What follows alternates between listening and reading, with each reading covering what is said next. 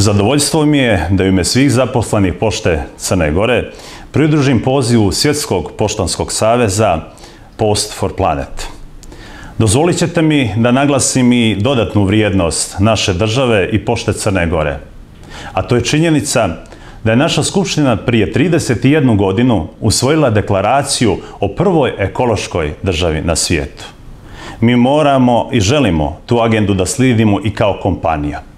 S tim u vezi, sa zadovoljstvom vam kažem da smo pokrenuli prvi istorijski projekat nabavke električnih vozila u saradnji sa QSF fondom. Također, sa elektroprivredom Crne Gore pokrenuli smo projekat ugradnje solarnih panela. I to je nešto što nam pričinjava zadovoljstvo i ubjeđen sam da ćemo u relativno kratkom roku većinu naših objekata prebaciti na obnovljive izvore energije.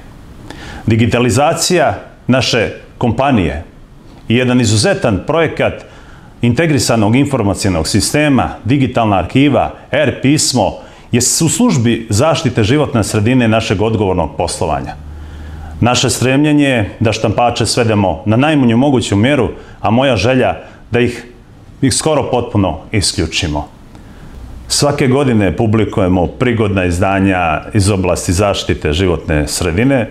Tako smo i prije nekoliko godina u saradnji sa UN-om publikovali marku pod nazivom Smanji svoj karbonski otisak. Svim članovima naše milionske poštanske porodice želimo da čestitamo Svjetski dan pošte. I želim da pošaljem poruku da i dalje moramo biti odgovorni, prije svega prema nama, prema našoj djeci, prema našim našim zemljama i na kraju našoj planeti. Post for Planet.